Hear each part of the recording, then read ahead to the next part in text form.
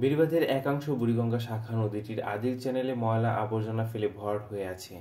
এ ব্যাপারে দায়িত্বহীনতা, পানি উন্নয়ন বোর্ড, সংশ্লিষ্ট কর্তৃপক্ষর তাদের এ বিষয়ে উদাসীনতা বিষয়টি খুবই দুঃখজনক।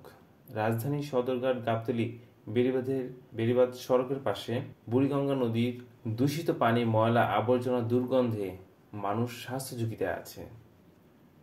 এছাড়া জমাট বাঁধা ময়লা পানিতে বিষাক্ত পোকামাকড় ও মশার আদর্শ বিচরণ কেন্দ্র হিসেবে পরিণত হয়েছে।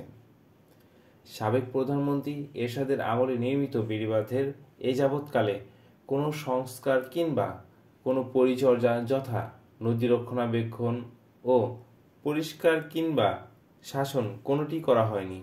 তবে আশার বিষয় হচ্ছে এটি যে নদী পুনরুদ্ধার করার কাজ চলছে। তবে প্রকল্পটি খুব ধীর গতি হওয়াতে এখানে মশার উপস্থিতি খুবই বেড়ে গেছে, যে কারণে এখানকার বাসিন্দারা অধিকাংশই ডেঙ্গু জ্বরে আক্রান্ত হচ্ছে।